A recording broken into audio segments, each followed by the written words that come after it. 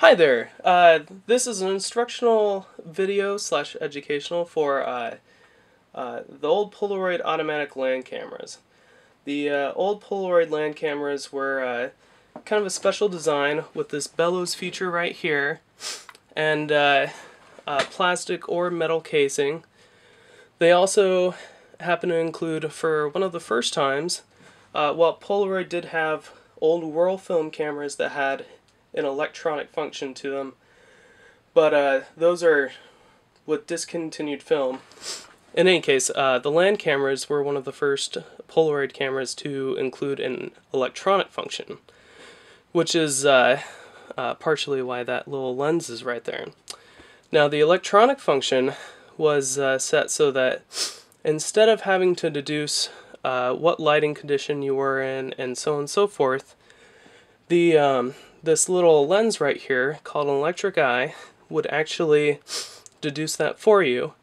And when you went to click the shutter button it would actually uh, it would click once for the manual shutter you did but then it wouldn't fully close until the electric eye decided that there was enough exposure and then you'd hear a second click. Now with these how you would originally start and I'm going to move this for a second to show you. Let's get this back in its first position. And put this back on.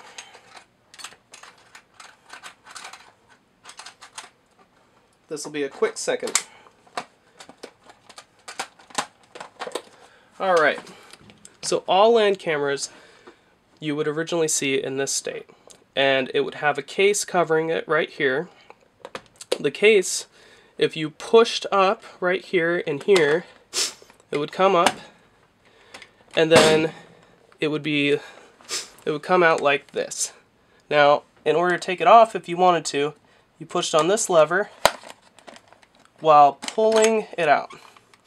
Now to put it back in, you would simply do the reverse thing.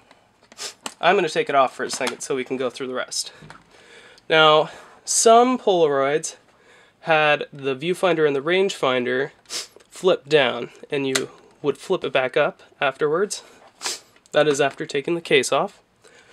And then, if you see this this uh, up arrow that has the number one right there, Polaroid did a fun thing with the land cameras where it was supposed to be numbered one, two, three, four for all the functions you had to go through.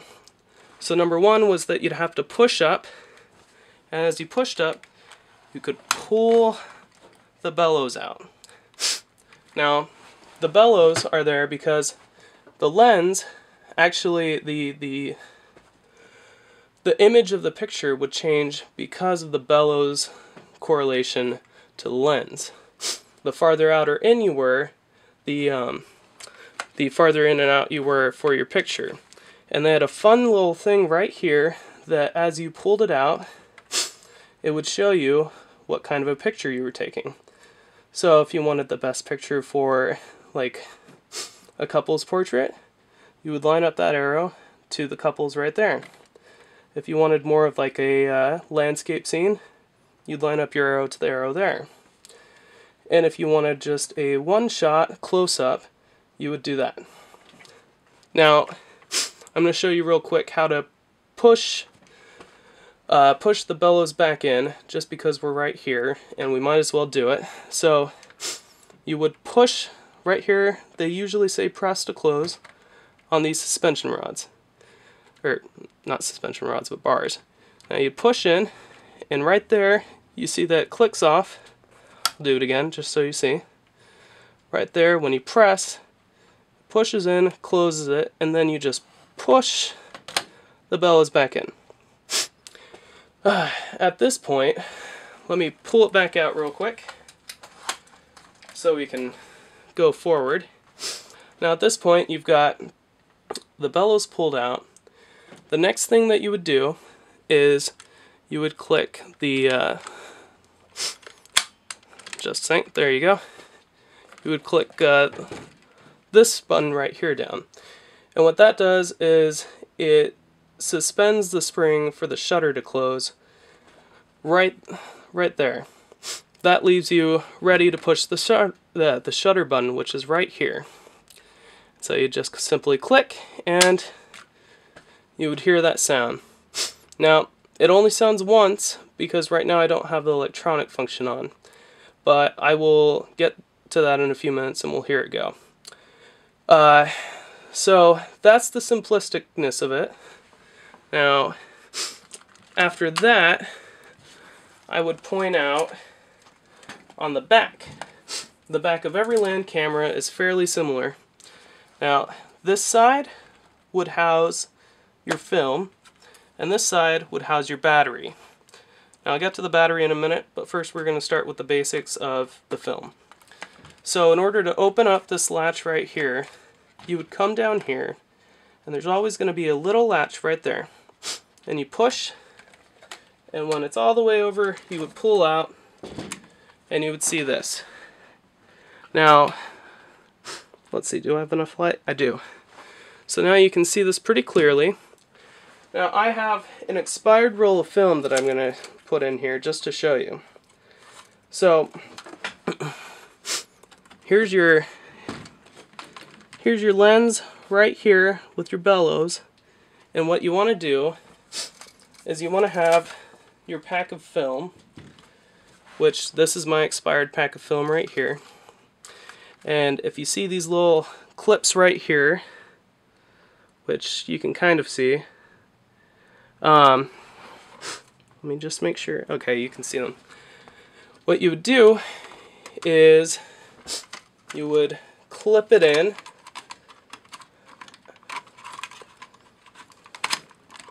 Just a second. Uh, let's see.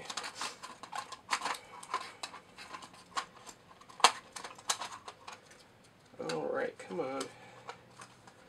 This will be just a minute.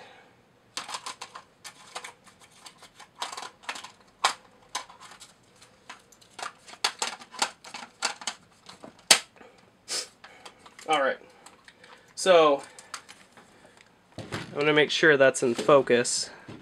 And then I'll, I'll show you this again in a second.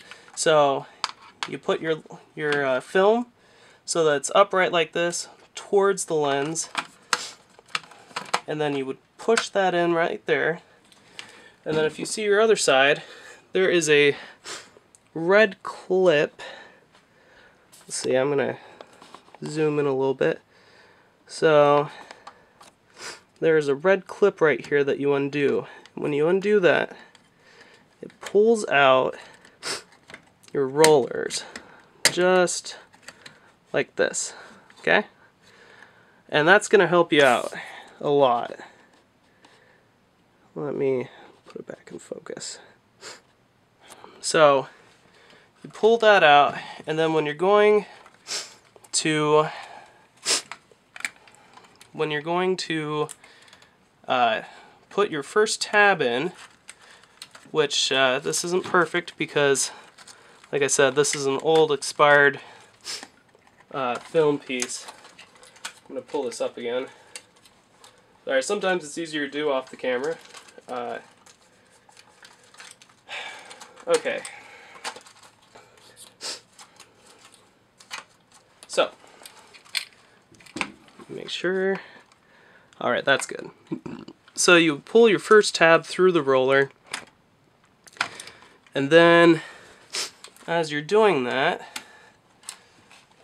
you want to make sure, if you see right here, this comes up like this, and you want to make sure that that's just like that. Right? And then you should be able yeah, should be able to push it in just like that. Now, when your exposure's done, you're going to pull this just out like this, and then after that, you get this other tab. And that's when that's when you pull it straight out. I hope you can see this. Here, let me like that, and the rollers are going to push that through and you should have see this is expired so it's uh, coming undone but usually what happens is there's this uh, there's this black and white side and what happens is when you pull it out the film has been exposed to the lens. So the film to the lens has been exposed through this. However, you want to keep it on for a certain amount of time. It depends upon how much time based on the temperature because uh, what's happening is the developer chemicals that are basically a jelly and they uh, they subside at the end of each piece of film. When they come through the rollers, the roller squeezes that jelly out onto the picture. Now, the picture isn't completely instant because what needs to happen now is instead of being completely overexposed, uh, it needs to be needs to be uh, kept on this black side so that it's not completely exposed for a few minutes. After about five minutes, I'd say, on really cold temperature, uh, and we'll get into the cold temperature in a bit, I would take it off and then you should see your picture. Now that's how you take out the film. So now I'm going to get on to the, uh, um, just a second. Now I'm going to get on to the battery side.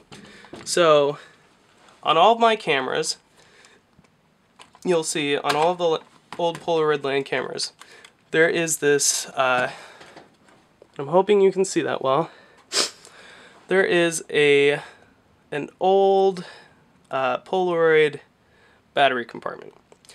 Now, the battery compartments, the batteries are just, uh, they're a touch old, they're kind of expensive.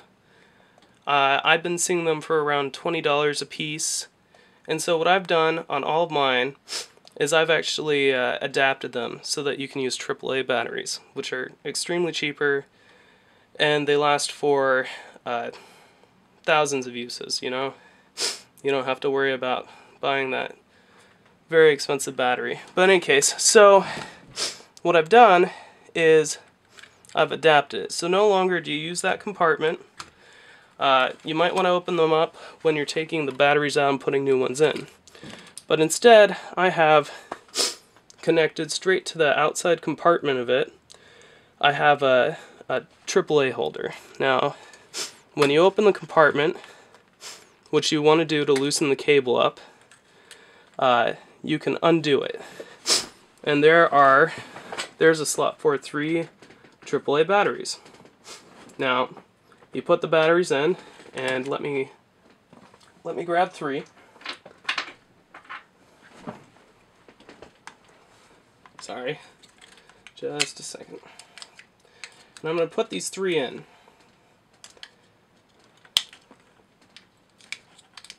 Okay. Now I've got the three in, and I do have an on-off switch. Uh, don't worry too much if your uh, on-off switch gets left on, because, like I said, the uh, the amount of battery energy that it actually takes, it, it isn't that much even if you leave it on. Uh, however, if you want to click on and off, go for it. In any case, so I fit it back in, and then uh, these cables, I'll make sure that they're back inside the case safely, and I do leave a little bit of uh, a little bit of a tug on the bat battery cable going into as I'm putting it in because uh, oh that got connected to uh, to my sheet just a second. And let's get that all back in. Okay, because when when the battery terminal is put back on the holder, I want to leave a little bit of tension just so that this doesn't try to pop out of the holder that's attached. Okay, so now we have three batteries in. Now let me show you. Uh, now let me show you the other part of it, the electronic part. So we're going to click down again to suspend that. And now you're going to hear, you should hear two clicks. So that was pretty fast.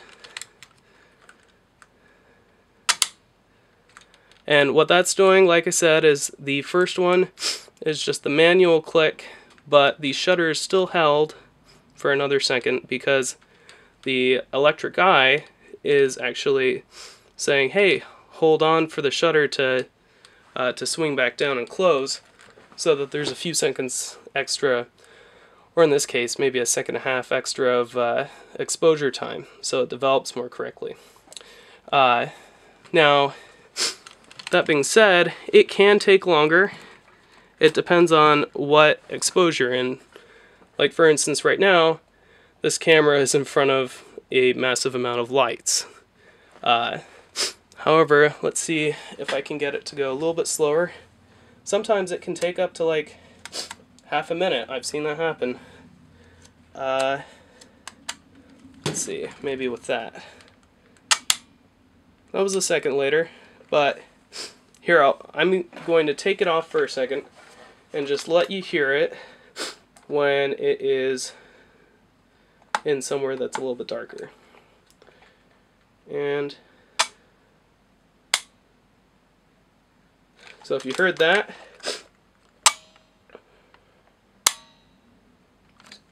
probably about four or five seconds later.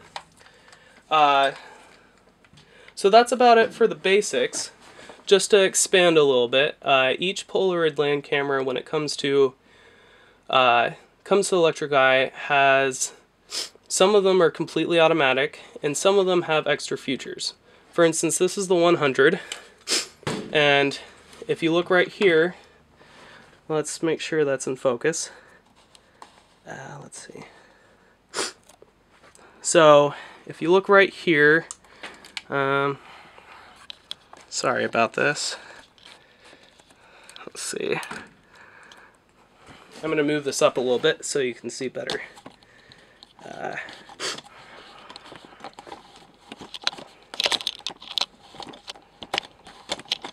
come on.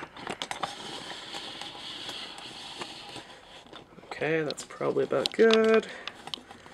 And then Bring it down a little bit and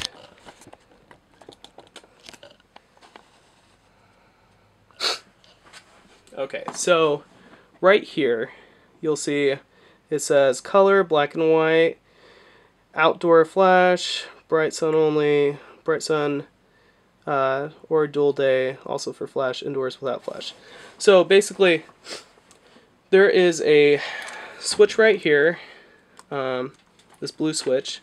And then there's also uh, film speed right here. And if you change the film speed, it will definitely change how the electric eye views uh, how much exposure it needs, basically how many more seconds does the shutter need to be open.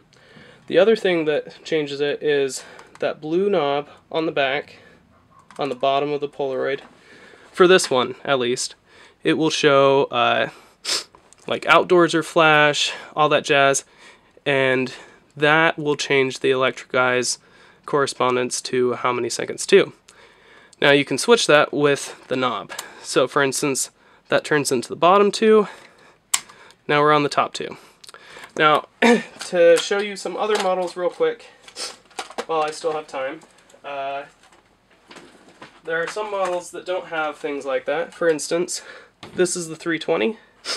Uh, the 320 is essentially the same, except it only has uh, speed differences for 75 and 3000, although if you want you can use 75 for the FP uh, 100C uh, film that's out, because it's cha just changing it from 75 grain to 100 grain.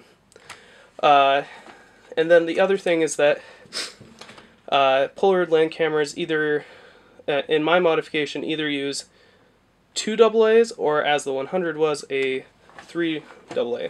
The other thing that I forgot to mention, and unfortunately I don't have a camera uh, that has it right now, but some of the Polaroids also happen to have a timer right here. An electronic timer, uh, and some of them are manual too. The electronic timer and the manual timer work as timers to tell you when to take your film and actually when to separate. So on the electric one, it actually has a little uh, a little trigger right inside that when the film is pulled out, it starts the countdown, lights up, and